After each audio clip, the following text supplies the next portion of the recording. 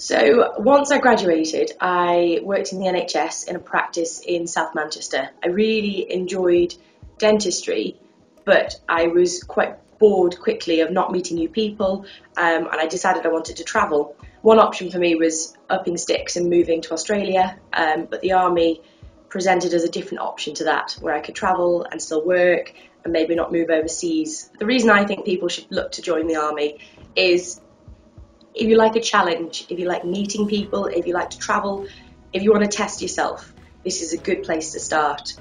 The, the army isn't easy, um, it's not a safe option, um, but it is a cracking job. Um, you get to meet some incredible people.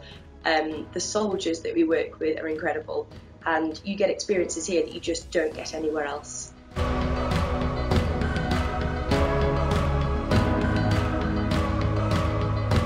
Um, I think a lot of the, the skills um, and qualifications I've gained since I've joined the Army have been in leadership and management. Um, so there's a, an Army skills offer which recognises various courses that, that I'll have undertaken and you know can help lead up to uh, a degree in leadership and management.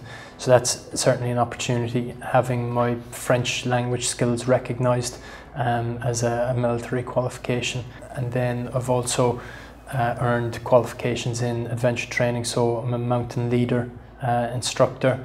I've done uh, an enhanced training leader course, so in terms of physical training and development of soldiers, being able to take them out for physical training. Um, and then I've done I've gotten a basic free fall parachute qualification as well, which is another uh, adventure training qualification.